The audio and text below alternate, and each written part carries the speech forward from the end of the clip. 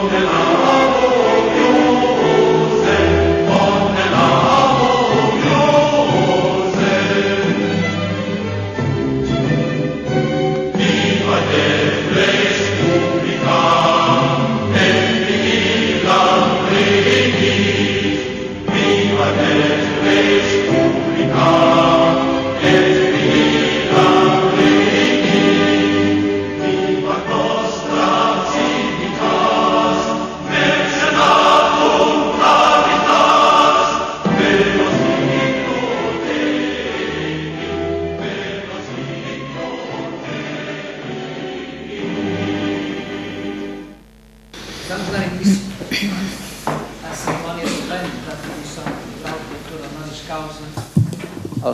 Ao. Jeffrey Zaid. Eu passo a palavra à mestre de cerimónias, por favor. Boa tarde a todos. Sejam bem-vindos à cerimónia de imposição de insígnias doutorais ao professor Jeffrey K. Zeig. Good afternoon. We welcome you to the ceremony of Professor Jeffrey K. Zeig's imposition of doctoral insignia.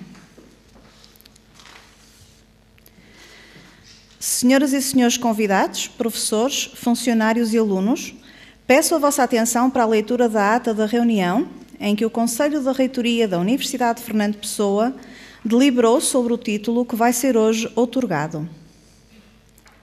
Ladies and gentlemen, professors, employees and students, I call your attention to the reading of the minute of the meeting of the University Fernando Pessoa's Rector Council that decided on the title that will be, that will be conferred today.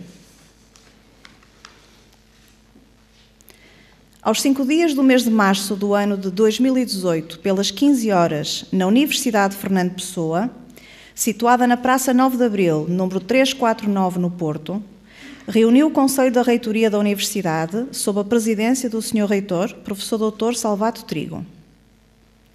On the 5th of March of 2018, by 3 p.m. at University Fernando Pessoa, located at Praça 9 de Abril, number 349 in Porto, the Rectors' Council met, chaired by the Rector, Professor Salvato Trigo. Estiveram presentes o Sr. Diretor da Faculdade de Ciência e Tecnologia, Professor Dr. Álvaro Monteiro, o Sr. Diretor da Faculdade de Ciências da Saúde, Professor Dr. Luís Martins, e as coordenadoras pedagógico-administrativas das faculdades, Doutora Ana Carla Novaes e Doutora Lourdes Soeiro. Were present the Director of the Faculty of Science and Technol Technology, Professor Álvaro Monteiro, the Director of the Faculty of Health Sciences, Professor Luís Martins, and the Pedagogical and Administrative Faculties Coordinators, Ms. Ana Carla Novaes and Ms. Lourdes Soeiro. A senhora diretora da Faculdade de Ciências Humanas e Sociais, professora doutora Inês Gomes, ausente nesta reunião por motivos pessoais, enviou à consideração deste Conselho a atribuição do doutoramento honoris causa ao senhor professor doutor Jeffrey K. Zeig. O Dr. Jeffrey K. Zeig é psicólogo e psicoterapeuta, contando com uma vasta experiência clínica de quatro décadas, desde 1977. Em 1979, fundou a Milton H. Erickson Foundation, com sede em Phoenix, Arizona, sendo, desde essa altura, o diretor desta instituição de formação de profissionais na área da saúde mental. The director of the Faculty of Human and Social Sciences, Professor Inês Gomes, absent at this meeting for, for, personal reasons, sent to the consideration of this council the appointment of Dr. Honoris Causa to Professor Dr. Jeffrey K. Zeig. Dr. Jeffrey K. Zeig is a psychologist and psychotherapist with extensive clinical experience of four decades, since 1977. In 1979, he founded the Milton H. Erickson Foundation, headquartered in Phoenix, Arizona, and has been the director of this institution for training mental health professionals. A, a proposta apresentada mereceu a aprovação deste Conselho. The proposal was approved by this Council. Muito obrigado, Sra. Doutora Ana Cláudia Moutinho. Na continuação da cerimónia, eu vou passar a palavra ao padrinho do nosso homenageado de hoje, o Sr. Dr. Jeffrey Zegre, e vai usar da palavra, por isso, o padrinho do nosso doutor honoris causa. Palavra para o Sr. Professor, por favor. Okay. Uh, dear Rector, dear colleagues, dear students of the Ferdinand, Fernando Pessoa University, as a professor of the Rome Sapienza University, I, Camilo Loriedo, have the pleasure and the honor to introduce to you Jeffrey K. Zeig. Jeffrey gave a lot of contribution of excellence to the entire science of psychology, of psychotherapy, and of Ericksonian hypnosis. Uh, he is a master of organization. He, he, did the first conference in 1980 dedicated to Milton Erickson, And I think it was the most successful conference I have ever uh, attended in my life. And he was really very, very young at that moment. I was asking to myself, how it is possible that a young man like this can organize a congress, such a big congress? And uh, almost the most important people in the world were there. So he was able then to, to uh, construct and build and uh, literally uh, activate in the world the Erickson Foundation, the foundation dedicated to Milton Erickson that was the innovator in the field of hypnosis and psychotherapy. And uh, he, he, created a lot of conferences during uh, the time from that moment on uh, dedicated to brief therapy, to couples therapy, and best of all, the evolution of psychotherapy, a revolutionary way of uh, organizing congresses in which all the best people, all the masters of psychotherapy were obliged to be there and confront with each other. So the important idea was uh, that even if I am the greatest in the world, I have to confront with other colleagues. I think that was a revolution in the field because uh, up to that moment, people were thinking, I am the best, and uh, they had to deal with uh, equal other colleagues. And uh, to have dialogues with them to uh, start to begin they, they were not the only one who had the truth in their life. So there was a radical change in the field of psychotherapies because of this type of organization that was unique never happened in other uh, sciences to have uh, all the scientists the best scientists to confront with each other literally all the big names were there. And some of them say, well, I'm a little bit in, in difficulty speaking with the other colleagues, but the rule was that everybody was supposed to interact with others. I think is a, a good example in a field in which people can think that they arrive to the top to be humble and to meet with other colleagues. And also the attendees, they were uh, absolutely enthusiastic to see the masters confronting with each other, to understand where the master is uh, in difficulty and when is really able to confront with colleagues. Uh, diffusion of, of, knowledge in the field of psychotherapy. Uh, he was able to introduce everywhere the idea of Milton Erickson and the Milton Erickson uh, uh, kind of therapy uh, it was uh, enough known when he started, but not so much. And also, there were countries in which hypnosis, uh, in the sense of Erickson, didn't exist. And to know and to follow these ideas was uh, crucial because changed the mentality. I just mentioned something that is a little bit technical, the idea, the idea of resistance that was considered as something that uh, is a moment in which a therapist finds difficulty in changing the client. Erickson and Jeff, they were promoting the idea that uh, the client resists when you do a wrong therapy. So you, you have to uh, be attentive to resistance because it's the moment in which the therapist learns how to change himself and to change the therapy. So it's a revolution in a field in which up, to that moment was considered that the therapist was the absolute uh, owner of the power to change the others and not change himself. Uh, a lot of papers, uh, a lot of volumes, uh, and the Erickson Archives and Museum. Uh, so the Erickson Archives, I recommend it to you because it has a lot, great masters speaking about psychotherapy and presenting their way of working and also confronting with the real situations in which they were supposed to intervene. If you want to know something about psychotherapy, if you really want to see what is psychotherapy, uh, you will find in uh, the, the, the, videos that uh, there are in, uh, in Erickson archives. I think it's a unique opportunity also for universities.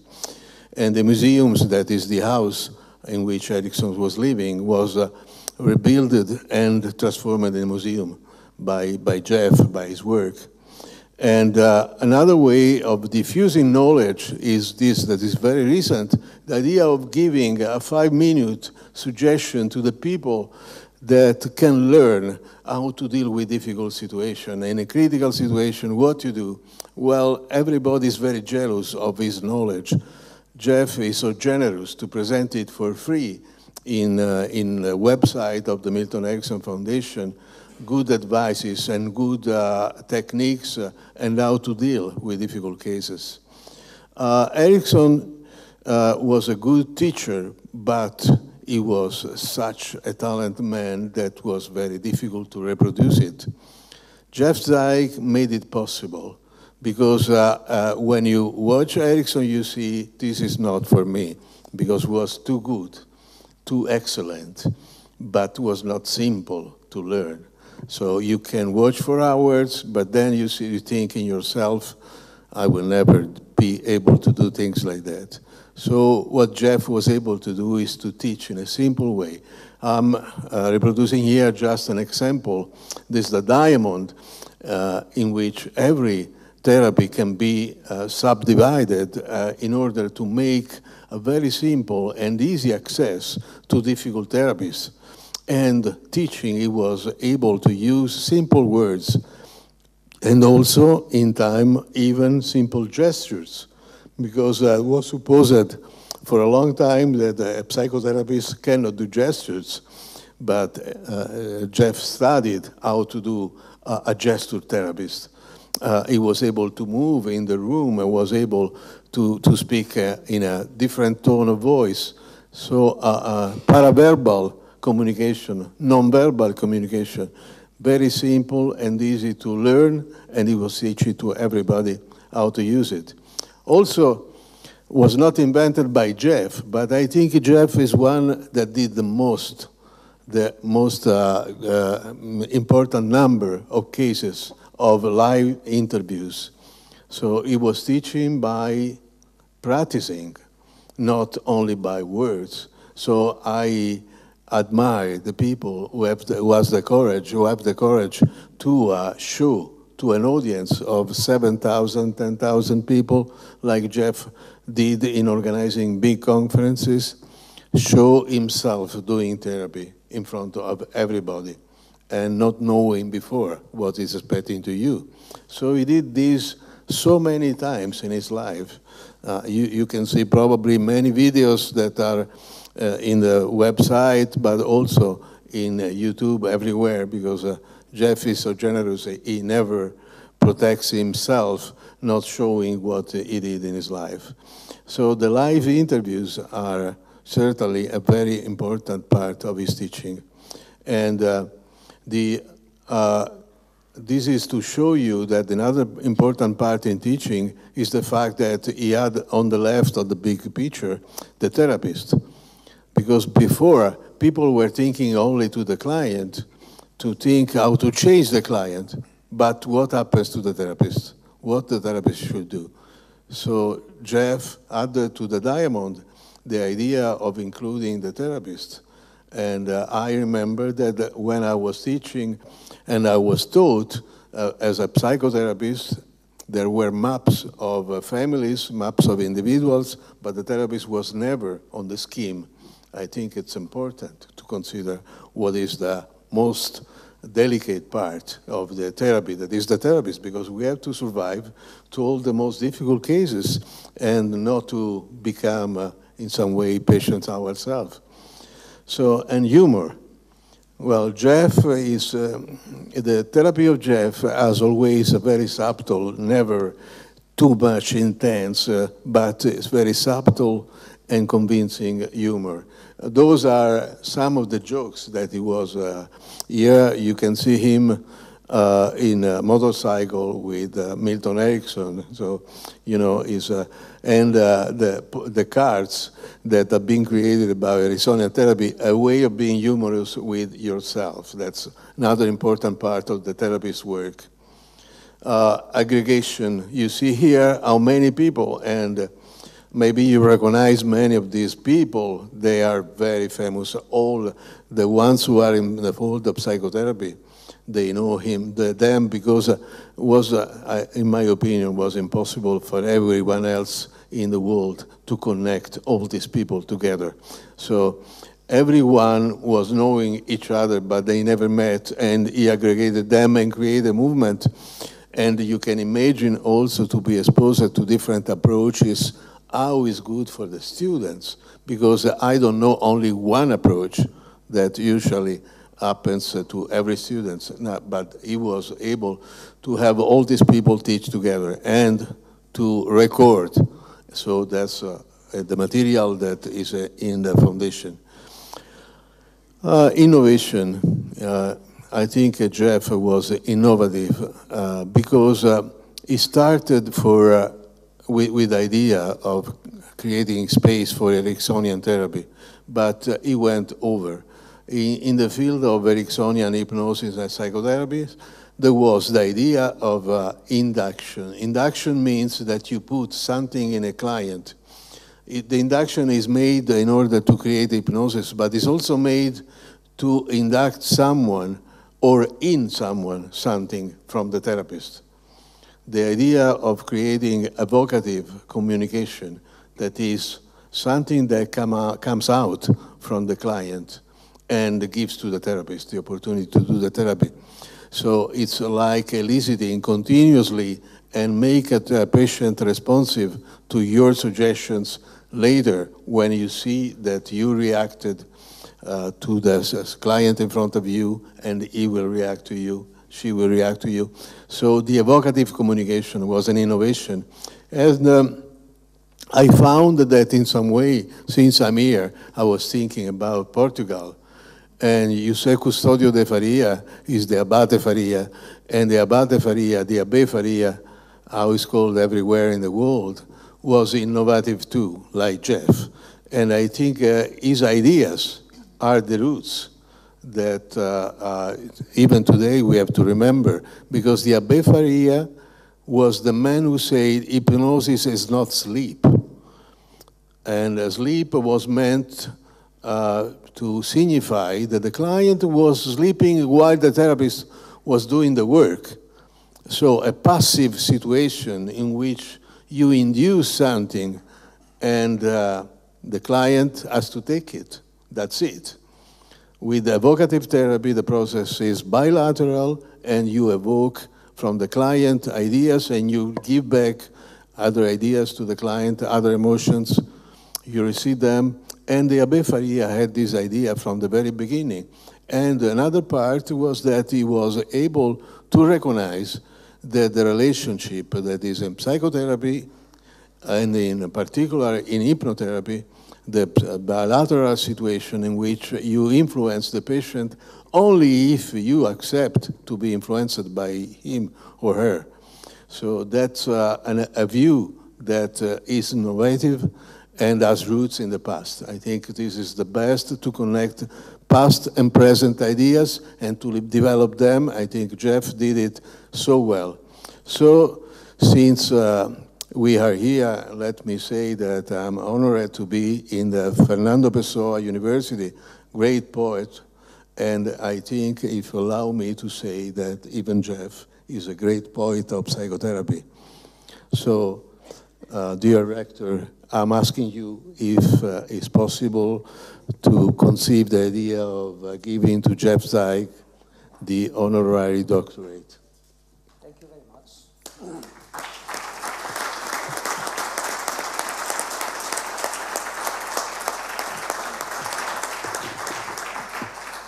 Thank you very much, Professor Camilo Loriedo. Thank you very much for your words. I have sought to speak a little bit about, about the Faria, but uh, you, you did my work. it's okay. Thank you. Thank you. Italiano. Sarebbe stato più facile.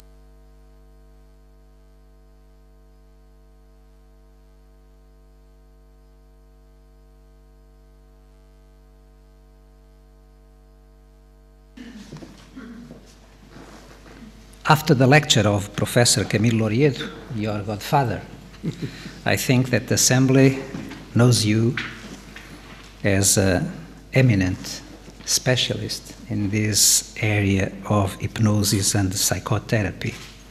That's why we decided to appoint you as Doctor Honoris Causa of our university. And using my academic authority, I declare Dr. Jeffrey Zeig, Doctor Honoris Causa by our, by our university. And so I'm presenting you the doctoral insignia. First of all, our gown. The most important the most important phrase I had in my life about university is written in the front of the University of Oxford. University of Oxford in the front of the big, the principal building is written there. The university is where the gown meets the town. then Dr. Jeffrey Zeig, our gown for you as you see the symbol of our identity as university. I'm going just to do my work.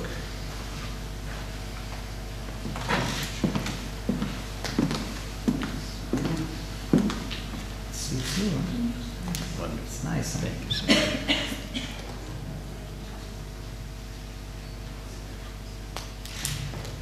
Okay, now the medal. The medal is our recognition for your CV. Then the color, it's the Portuguese color for psychology, the orange. Okay. And finally, the diploma certifying your eminence in the area of psychology and psychotherapy. It's for you, sir. Thank you very much. Huh? Welcome, welcome to our university. You can come with me now.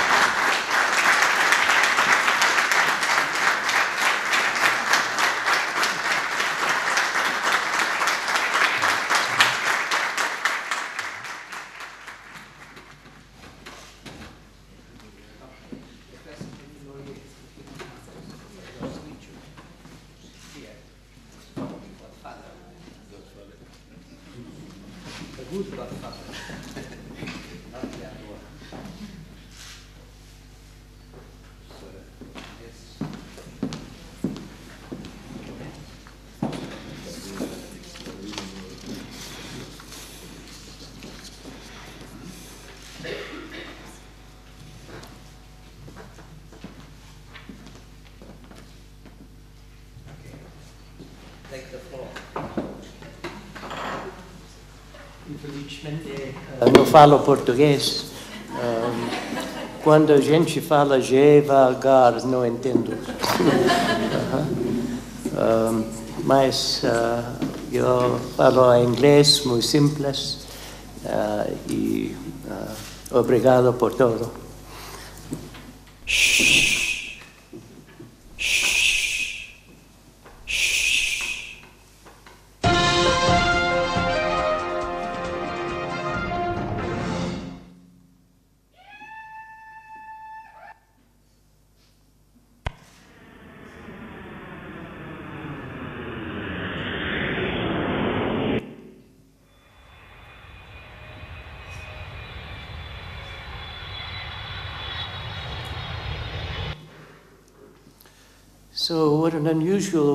to start a presentation, one that I can only uh, hope expresses some of my gratitude for this extraordinary honor. I'm honored by the uh, rector and by the dean and by my friend Camilo and uh, all of you for being present at an extraordinary honor, and I deeply, deeply uh, appreciate it. I um, hope to continue to deserve it. So um, this uh, presentation, what I started with, is an idea of signification. It's an idea of awakening a representation. And we awaken representations by using signals more than using words. So I decided to start the presentation by giving you signals, common signals that awaken a representation. Now, this is part of our evolutionary sociobiology that representations awaken a concept, they awaken a state, they awaken an identity when it comes to human beings. And psychotherapy has been plagued, as Camilo has said, by my mouth to your ears, your mouth to my ears. And therapists haven't gotten the idea even of making therapy into a visual experience. If 50% of brain processing is dedicated to vision, we need to make things come alive to awaken representations in our clients that help to propel our clients into more adaptive states, more adaptive identities. But that's not only relevant to psychotherapists, this is also relevant to teachers. There are some concepts that need to be presented in a way that makes a simple idea come alive conceptually. Not only relevant to teachers, but relevant to parents. When we want to communicate a concept, we need to use a form of communication that is a little bit uncommon in academic circles. It's not commonly taught how to present things in an evocative way. My area of exploration has been evocative communication. Now, what I'll show you next is an actual psychological experiment. I'm going to show you two women. The women are exactly the same, it's the same woman. And when uh, asked, and uh, the experiment is actually run, the, uh, one of the women is judged statistically significant amount of time as being more attractive than the other. So we will pretend that we exist in a democracy, at least as from being from the United States. I'm less certain about that, but uh, here's the woman. This is picture number one. It's, uh, and here's picture number two. It's the same woman. So this is uh, picture, num uh, picture number one, picture number two. Now, because of the way in which the lighting is on the screen, uh, the, the effect can't be act accurately realized here. But the simple change in this is that in this picture, picture number one, her pupils are retouched, they're dilated. And in picture number two, this is her normal pupillary size. When students are at, when uh, people are asked which one is more attractive, because pupillary dilatation is a sign of arousal. If you see an infant, your pupils will dilate because of excitement. In Italy, uh, women uh, uh, of age would use belladonna to create more pupillary dilatation and be more attractive to their suitors. Now, this has to do with the way in which we are built to respond. We are built to respond without the necessity of understanding the cue that led to our response. We are designed that way. We are designed by evolution. We are designed uh, as animals to respond without necessarily realizing the cue that leads to that response. So, signification, and responsiveness of the type that I'm talking about, these are things that happen unconsciously. We understand this from music. And uh, Beethoven and, uh, did something extraordinary and created the Fifth Symphony. And basically, what he did was another theme in this presentation, which is strategic development. In the Fifth Symphony, Beethoven did theme and variation one, two, three down, one, two, three down. He created a whole symphony out of theme and variation on one, two, three down and had that have strategic development. There's a slight delay in the uh, presentation, but I think we'll hear it. Uh, and this is a visual representation of the Fifth Symphony. We'll just listen to a small part of it. And what you will hear is recursions slight recursion.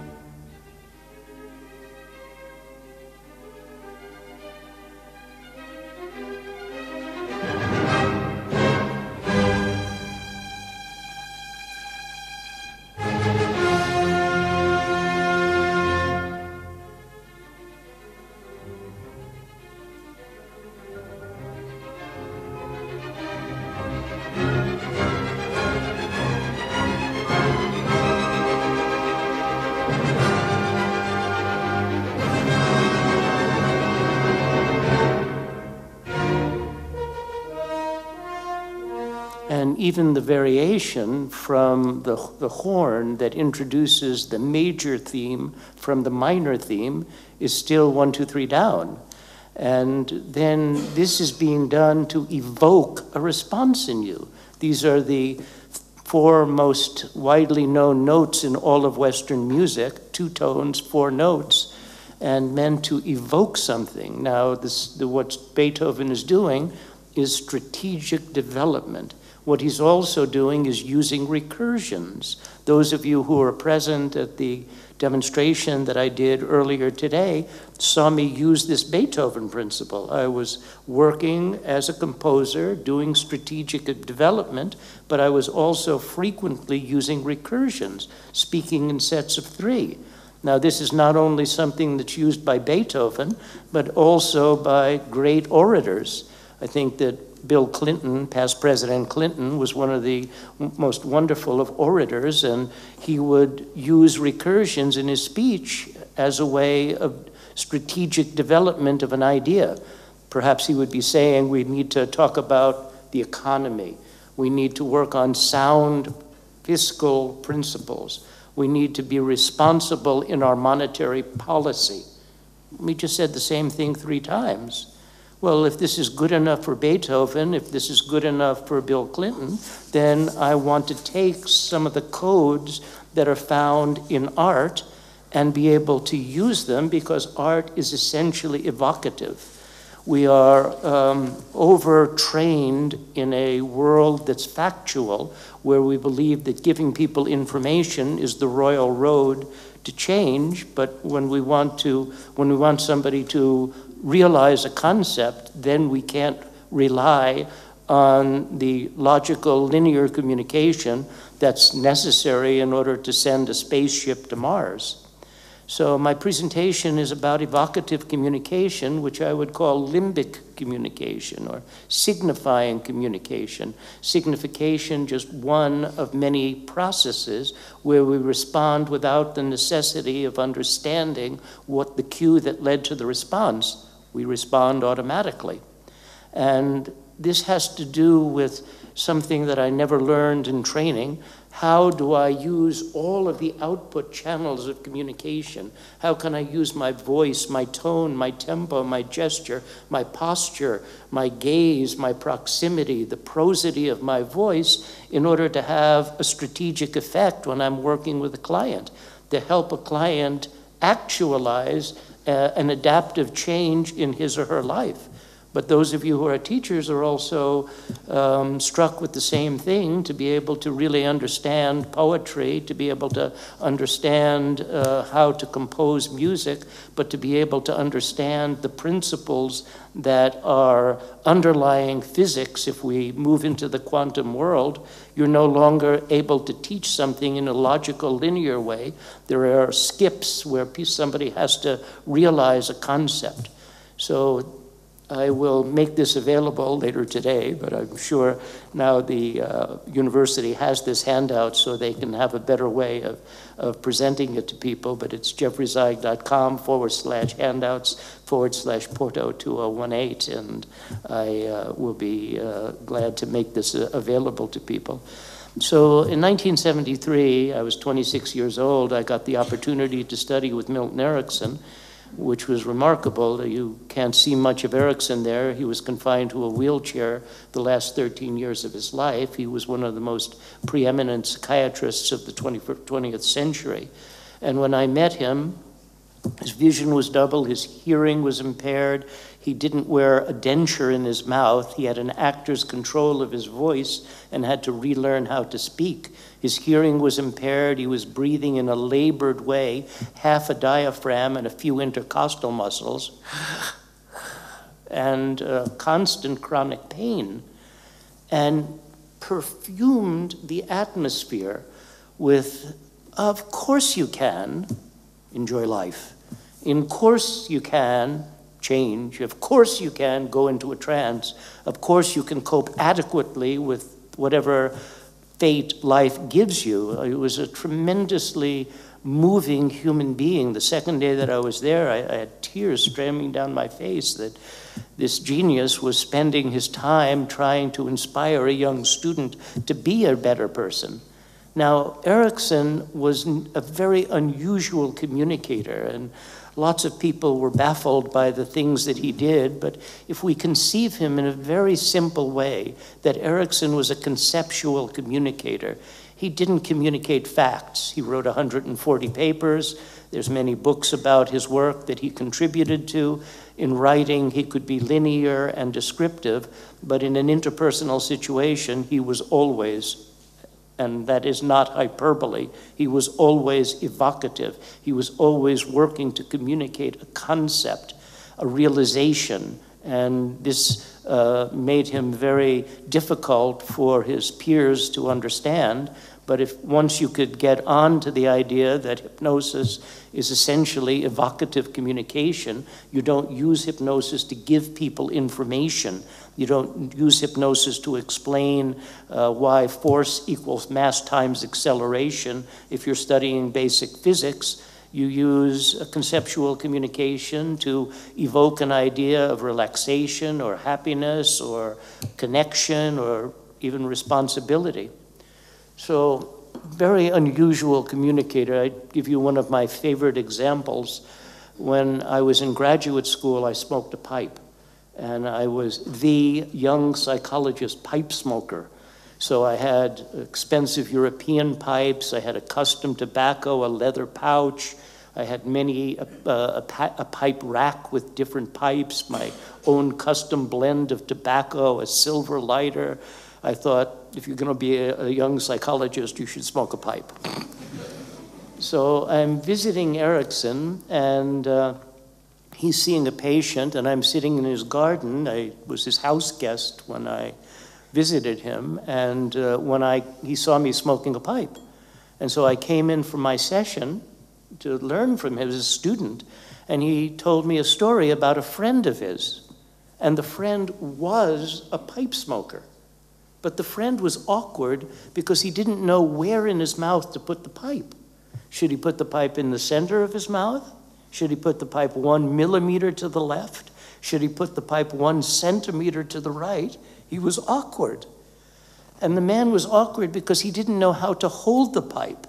Should he hold it with his right hand? Should he hold it with his left hand? Should he use three fingers? Should he use four fingers? He was awkward. And the man was awkward because he didn't know how to blow the smoke out. Should the be in a focus stream, in a diffuse stream, more to the right, more to the left, more up, more down? I'm thinking, I'm not awkward. I've been smoking a pipe for a while. Why is he telling me this story?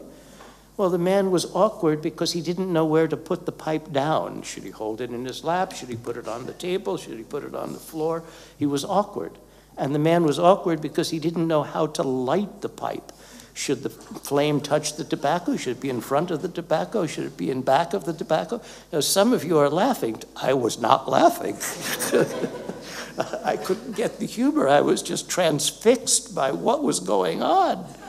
Now, I swear to you, that story went on for one hour. Erickson was a very slow, methodical speaker who was watching the response that he was getting. And knowing Erickson as I do now, at the end of that hour, I must have gone. and the story stopped. Two days later, I was driving back to where I'd lived at the time, California. Erickson was in Phoenix, a thousand uh, miles away, a thousand kilometers away.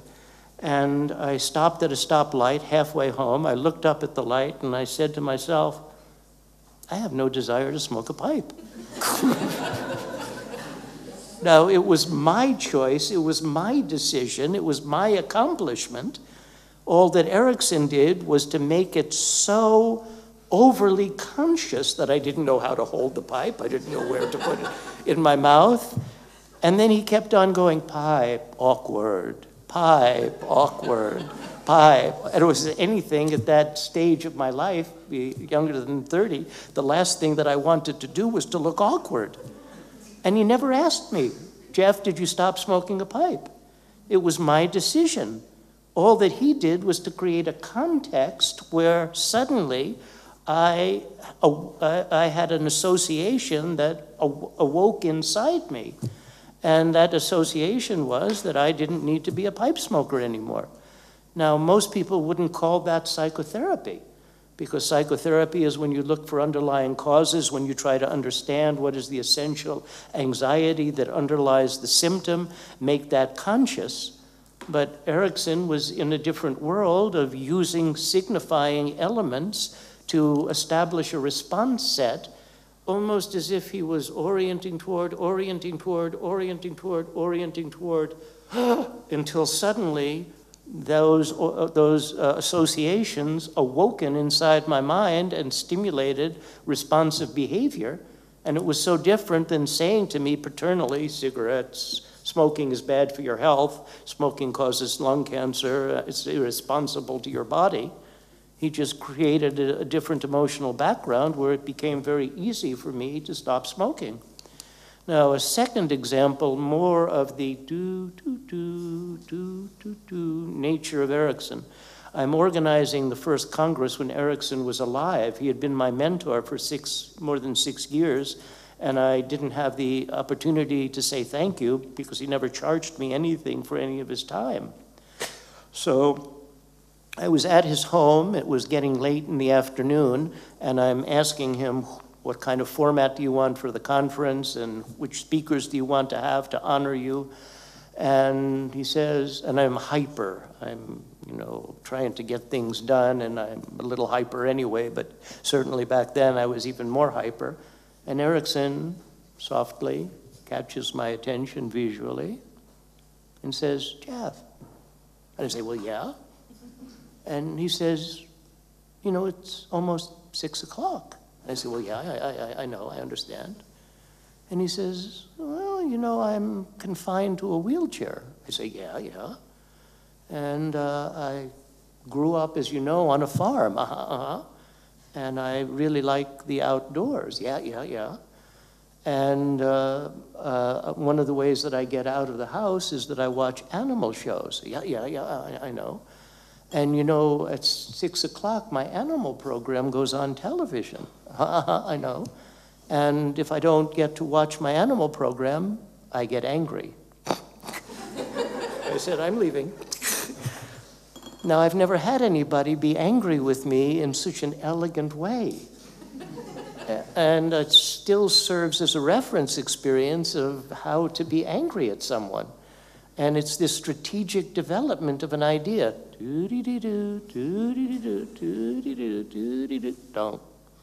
And no different than Beethoven playing with three tone, four tones, one, two, three down, and creating an entire symphony out of it. So there's a world of evocative communication. Evocative communication is proto speech, it's the foundation from which all verbal speech has evolved. And all animals, other than human beings, that's arguable, of course, communicate by using uh, signification. They communicate perfectly well and they're able to adapt to their environment. And animals communicate concepts to each other. It's an instinct of purpose and it's an instinct of response. There doesn't need to be intention that mediates the cue and the response. One animal communicates, come closer, another animal communicates, stay away, and we may not understand the essence of the signification, but no conscious mediation is necessary. And we in psychotherapy world spend a lot of time trying to get people to consciously mediate rather than to respond and awaken a, an association that can lead them into a more adaptive state. Now, it's the nature of psychological problems that they, they just have to happen. So um, suddenly I looked down at the plate and the plate was empty and I don't even remember eating. So suddenly I walked into the store and I had a panic attack. So most psychological problems have an automaticity. There's a response that is not mediated by any conscious uh, intention. So um, this is uh, seemingly fighting fire with fire. If the problem happens on a level that's more or less automatic, the solution can happen similarly. What we know and what we realize is very different.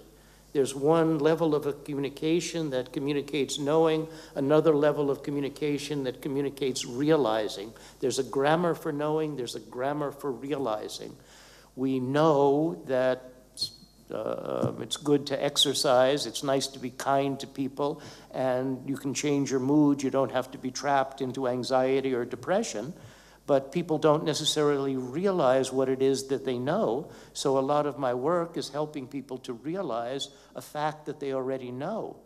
And communication, as I'm indicating, is both informative and evocative. And my area of exploration has been how do we use evocative communication? And this is basically science or phenomenology. Science, we're communicating facts. We need to have somebody understand a formula. Phenomenology is lived experience, and in some way they are opposite. We can put somebody in a, in a functional MRI and know what areas of the brain will be lit up when they're madly in love. But if we want to really understand something about love in a phenomenological way, we have to rely on a poet to help us to experience that. And uh, evocative communication is a necessity in psychotherapy. We're not communicating facts, we are using ambiguity. I think the great scientist Heisenberg was asked, uh, in terms of his complementary complementarity principle, what is complementary um, uh, to uh, clarity? And uh, he indicated that um, realizations are complementary to clarity, that if you are completely clear about something, you're not going to have a realization.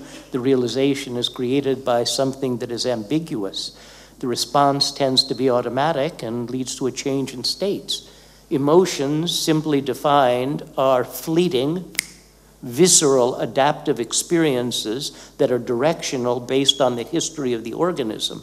Emotions tell an organism by virtue of a visceral reaction to move toward or move away, and that's augmented by history.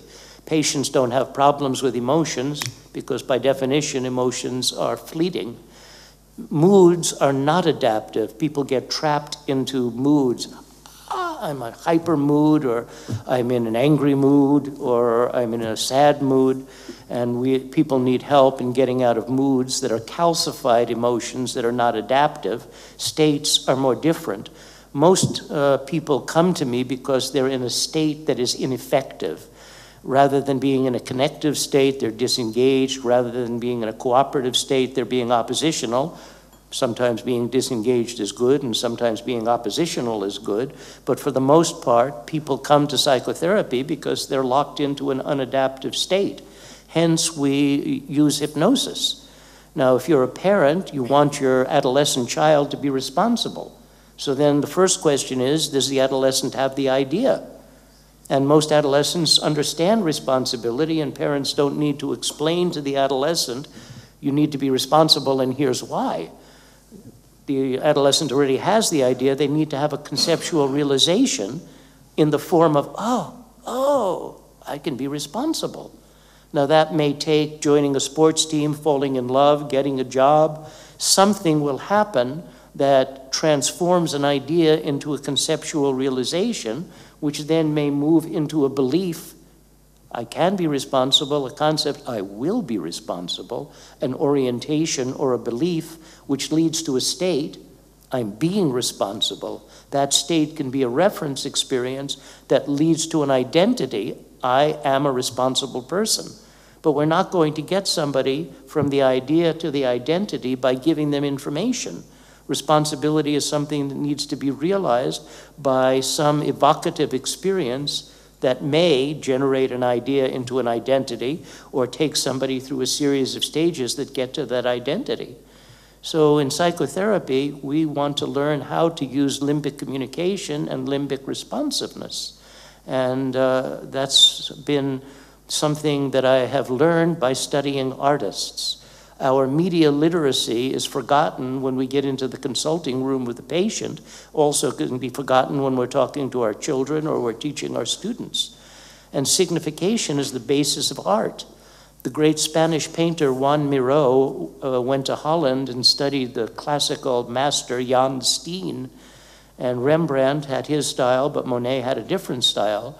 So art is about signification. And this is a series called Dutch Interior. This is uh, what a Dutch tavern looked like. The painting is teaching a cat how to dance. And you have the boy laughing raucously, the dog, the blue skirt, the flute. You can't see it too well, but there's a, a man looking in through the window, the musical instrument. And Miro, an evocative, whimsical painter, decided he would repaint Jan Steen's masterpiece. And this is Miro doing something that is essentially evocative in comparison to something where no, there's no photography. And so we had to rely on a painter to be technically brilliant about showing us what existed in the past. And then that led to the freedom to be an expressive communicator, an evocative communicator. These paintings are the same uh, in terms of their content, but this is the photograph, this is the evocation. Rembrandt looked like Rembrandt. But when Manet, when photography was invented and Manet could be impressionistic, he no longer had to be a technician of the sort of Rembrandt, and he could prevent, present something that would make you the co creator of the art. Something that Camilo mentioned that the therapist is a co creator and is co created by the experience, and we want to in, enjoin somebody to be a co creator of the realization that they need to have. I'm going behind in time, so I had a connection exercise, but I really don't have the time to do that with you. Um, this is uh, about our intention. It's not about being an actor, it's about intention. Now, actors do learn that when you have something that you want to communicate, if, if uh, a great Shakespearean is doing Hamlet, that Shakespearean actor knows an intention to say the lines uh, or say Romeo and Juliet. Think about that, where Romeo says, What light in yonder window breaks? It's the east, and Juliet is the sun. That's a wonderful metaphor. Two metaphors. Juliet is the sun, and what light in yonder window breaks? It's the east, and Juliet is the sun that becomes memorable to us because it's presented as an evocative metaphor. If I asked each of you, what does Juliet as the sun mean? You might have a different interpretation, but we would all agree that Romeo thinks Juliet is really special. And how we set our intention before doing a hypnotic induction, what is your intention? Before telling a therapeutic story? What is your intention before using a metaphor with a patient? What is your intention? And allowing uh, us to develop a technology where we can communicate, at the very least, of course you can. Of course you can change. Of course you can cope adequately with difficult situations. Of course you can. And Erickson was a living legend about that. I'm writing uh, his biography right now and trying to communicate some of the spirit and some of the genius of Erickson. So, hypnosis, my specialty, is essentially evocative communication. We don't use hypnosis to give people information, we use hypnosis to stimulate a realization. And hypnosis has more to do with art than it does with science. And it's a, an art of awakening a series of representations in someone that they will integrate into a whole that they will call hypnosis. And it's an essential foundation of conceptual communication for therapists, but shouldn't be understood as the end of therapy. Hypnosis teaches people to communicate concepts and not information. And once you do that, you can dispense with doing the formality of an induction in favor of being evocative by using metaphor stories, signifying experiences, sounds. Uh, uh, you know, if, if a movie maker can use sounds to communicate uh, concepts, then why don't I use sounds to empathize with the client or use sounds to provide a suggestion about something that the client can do differently? Uh, you know, a joke, well, that's uh, an induction for humor. And uh, an induction of hypnosis can be similar to a joke. I'll take the privilege of having the microphone and tell one of my favorite therapy jokes. So there's a rabbi who's a counselor, and the rabbi has a junior rabbi, and he's going to see Mr. and Mrs. Schwartz, and he says to the couple, Can I please uh, have my junior rabbi sit in in the counseling session that I'm going to do with you? Mr. and Mrs. Schwartz agree. And Mrs. Schwartz comes in first, and for 20 minutes, she cannot say one good thing about Mr. Schwartz. She tells every terrible habit that he has as a husband, uh, as a father, uh, uh as a companion. She can't say anything good. 20 minutes passes, the rabbi stops her and says, Mrs. Schwartz, uh, I have to tell you, you're absolutely right. And I am so proud of you that under these difficult circumstances, you have done such a good job of keeping your family together. Mrs. Schwartz melts. She says, Rabbi, thank you so much. It's exactly what I needed to hear. I think I can go on from here. Thank you. And she leaves. Mr. Schwartz comes in, and for 20 minutes, he cannot say anything good about Mrs. Schwartz as a companion, as a wife, as a mother, can't say anything good. 20 minutes, the rabbi stops Mr. Schwartz and says, Mr. Schwartz, I have to tell you, you're absolutely right. And I am so proud of you that under these difficult circumstances, you've done such a good job of keeping your family together. He melts. He says, Rabbi, thank you so much. That's exactly what I needed to hear. I got it. I think I can go on from here. He leaves. The student is beside himself. The student says, Rabbi, that's not counseling. You, you, you listened to Mrs. Schwartz, uh, and for 20 minutes, and you told her she's absolutely right. And then you listened to Mr. Schwartz for 20 minutes, you told him that he's absolutely right. Rabbi, you can't do that. The rabbi says, I've got to tell you, you're absolutely right.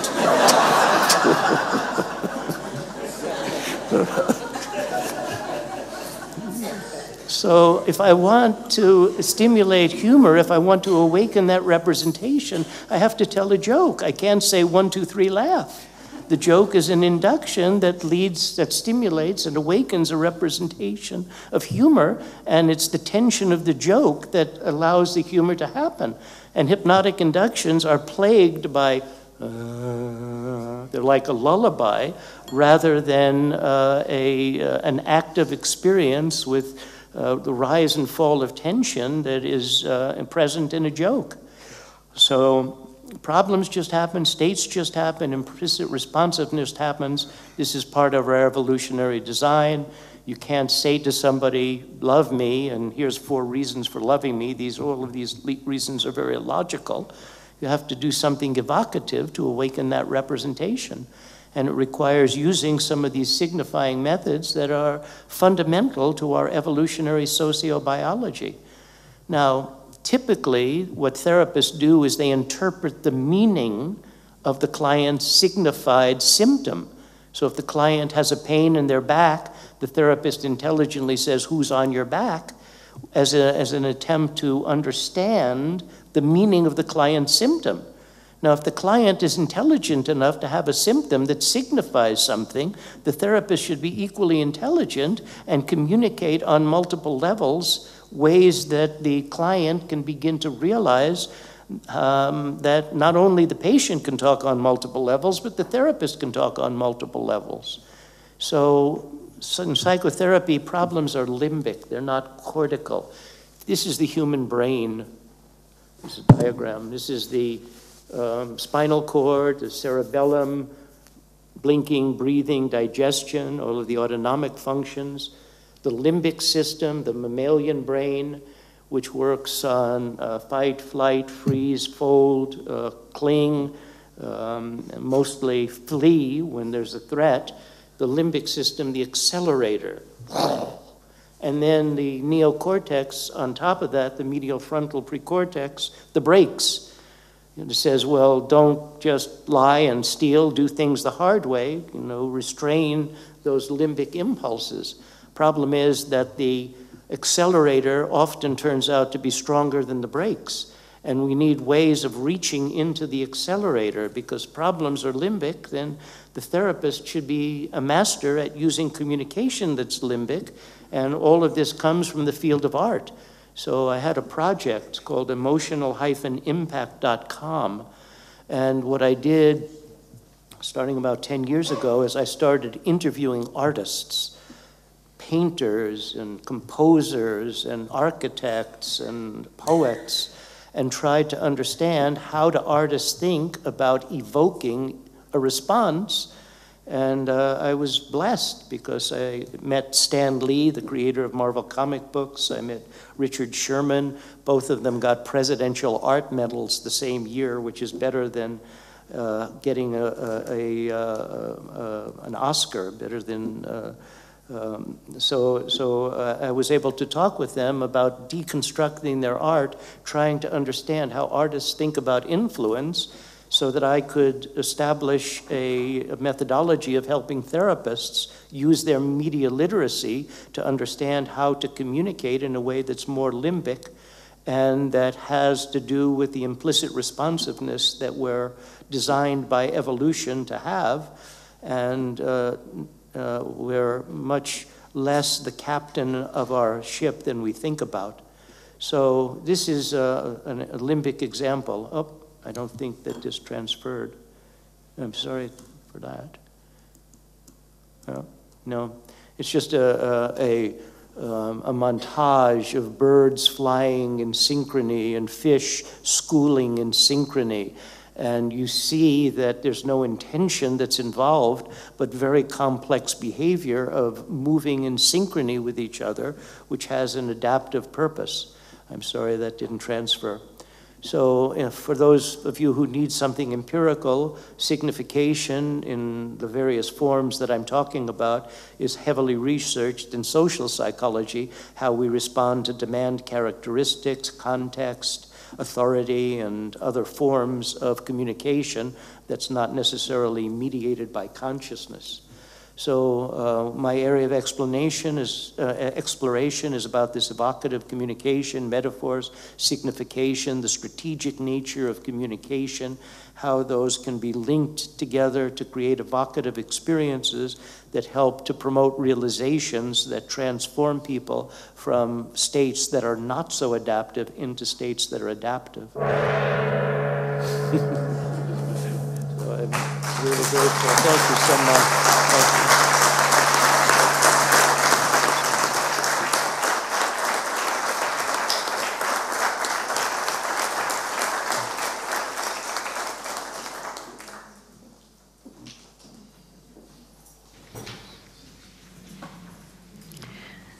De seguida, usará a palavra o reitor da Universidade Fernando Pessoa.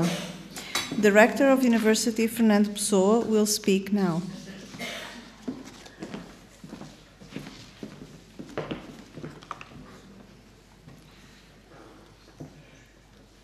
Dear Professor Camilo Lauriedo, thank you very much for being godfather of such eminent personality we have today to honor in our university, dear members of our faculty and our staff, dear president of our student union, representative of all students of our university, dear guests, ladies and gentlemen, dear Dr. Zeig.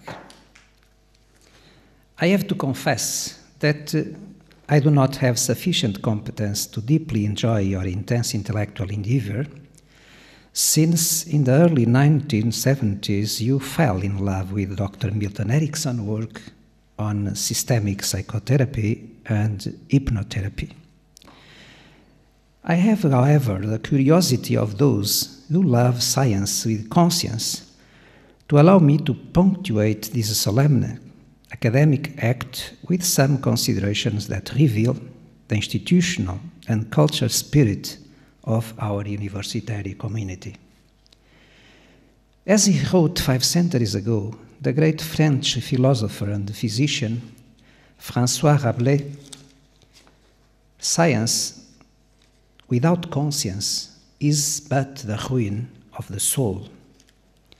So I believe that only science with conscience can be positively at the service of humanity, can help us to understanding of the complexity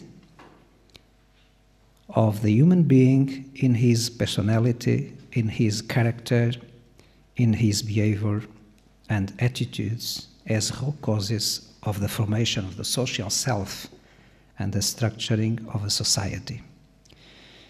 Because consciousness, as Bergson has simplified, means, first of all, memory. And memory, as we know it, is the repository of the dark and luminous times that bind the human being to the progress and sometimes to the regressions of civilization. And civilization is not more than a free affirmation of moral consciousness molded into universal values of respect for the transcendence of the life, rationally understood and enjoyed without theocratic constraints and political, cultural, economic, or scientific dictatorship. It is that, as Herodotus taught us, of all the misfortunes that afflict humanity, the most bitter is to be forced to have the conscience of much and the control of nothing. And consciousness, Rousseau metaphorized, is the voice of the soul, the patience being the voice of the body.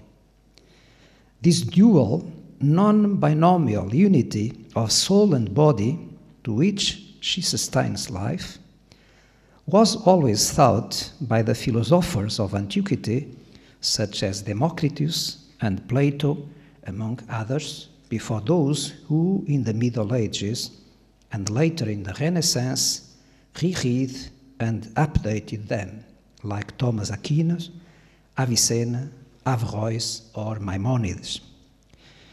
If Democritus, enlightened thinking, advocated that uh, we should focus more on prevention than on cure, and that it should not be forgotten that the disease of the body is produced by the passions of souls, not subject to reason, because unlimited pleasures are true foci of the pathology, of suffering. Also, Plato's teachings insisted that one cannot heal the body without knowing the soul, and concluded, as in the famous Phaedrus dialogue, that no one can heal a body without being aware of the nature of the whole, that is, of the dual unity, body and soul. When in this dialogue it is argued that the control of the rational or the logical can be done by dialects and that of the irrational or concupiscent can be done by persuasions, the first leading to catharsis and the second to enchantment, here we have the beginnings of modern psychotherapy. The healing sleep referred by Plato that took place in the Hellenic temples consecrated to Asclepius, especially in Epidaurus, was the ancestry and the preceding religious ritual of hypnotherapy. This lunar liturgy of the temples of Asclepius, during which Hypnos, god of sleep, the son of the goddess Nyx, that is the night, with Erebos, that is the darkness, brother of Thanatos, that is the death, and father of Morpheus, the drowsiness, was worshipped, is undoubtedly the best mythical allegory in which we can also look at the foundations for the scientific journey that hypnosis has made since the Scottish surgeon James Braid introduced the concept into therapy, assuming it with the sense of, indus- of induced sleep, inductive sleep. This path will be followed by Franz Anton Mesmer, the, the Viennese physician who, in 1774, created the so-called mesmeric passes or manual gestures provoking magnetic effects of restoring the imbalance of body fluids, giving rise to mesmerism, which allowed to induce altered states of consciousness, allowing a kind of hypnotic anesthesia.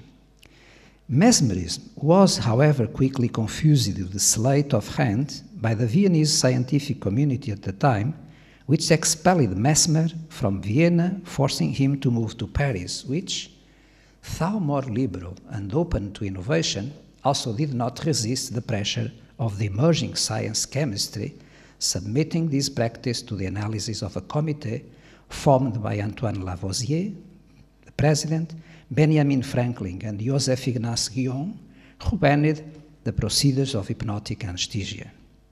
As a result of this scientific intolerance, a disciple of Mesmer, the English physician John Elliotson founded in London the first mesmeric hospital as a way to con counteract the scientific intolerance of those who did not understand and did not want to understand the hypnosis. That, nevertheless, continued to have important defenders, as were the French Charcot, who proved the hypnosis in the treatment of hysteria, the also French Liébeault and Bernheim, who founded the School of Nancy, in which hypnosis passes from the medical field to that of psychology, even Pavlov, the Russian neurophysiologist initiator of the scientific psychology of behavior, Dave Elman, an American radio man, comedian, composer, and writer, who is practically the creator of hypnotherapy as a method of behavioral induction. His books, Findings in Hypnosis in 1964, is still a reference today. And the last link in this decisive chain for scientific affirmation and for the strengthening, the strengthening of hypnosis and psychotherapy, the American psychiatrist Milton Erickson, founder of the American Society of Clinical Hypnosis, of whom our honoree today is a disciple and qualified continuator. I overpassed the Abbé José Custódio Faria because Professor Camilo Laurier referred to him very, very well. We are well aware that despite much scientific evidence already produced about the altered status of consciousness, and hence also about hypnosis, there are still those who are suspicious of these methods of soul searching in the name of a scientism that, as the Portuguese physician, writer, and plastic artist Abel Salazar wrote, is a real threat to the development of a free and truly universal university where everything that has to do with man in his corporeal and transcendental dimension must be able to enter. Here, Dr. Zeig at the University Fernando Pessoa, because we cultivate the university of the universality of concepts and encourage the diversity of ideas, we are those who, because we know that scientism is a threat to the diversity of our looking at us and that relationship with nature, we persist. We persist in permanently reconnecting the past to the present time as the only way to understand the evolution of the human being in his inexorable march towards the future. An unknown dimension of the time that nevertheless upholds the utopia with which we fulfill the myth of the eternal return, just as Nietzsche well enunciated. And in those past times, men lived with the myths, feared the gods, believed in the stars, as influences of his life, worshipped nature by constructing it, sorcery, beliefs, and superstitions. He became ecstatic and frightened by shamanism. He gave himself irrationally to the religion before the long racial journey that, from the 16th century onwards, began searching for the how and why of things, technologically reconfiguring its what for, sometimes to ethically questionable limits, because technology has been sadly obliterating philosophy and those who look to technology not as a means but venerate it as, a, as an end have contributed to a disturbing change of the world, eventually thickening from those to whom Rabelais prophetically referred in his time. And I quote, I know many who could not when they must, because they would not when they could.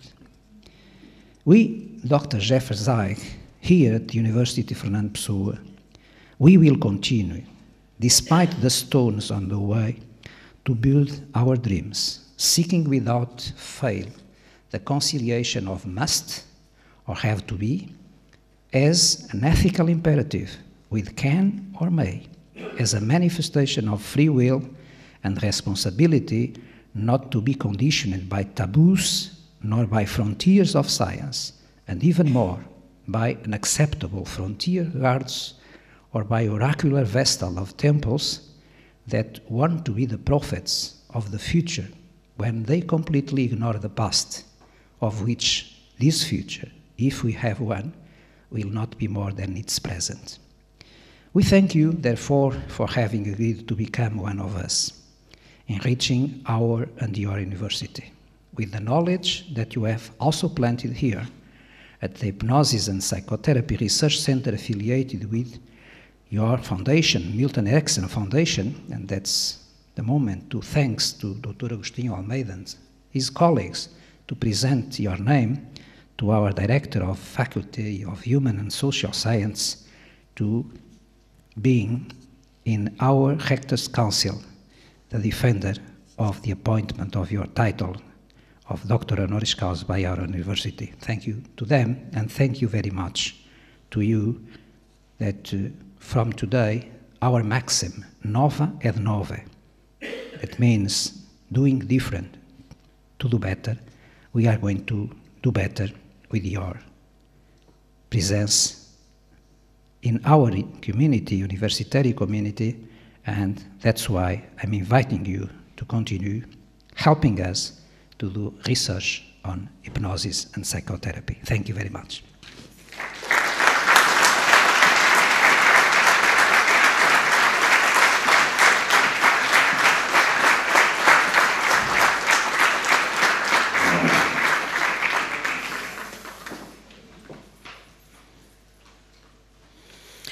Convidam-se todos os presentes para, de pé, ouvirmos o hino nacional.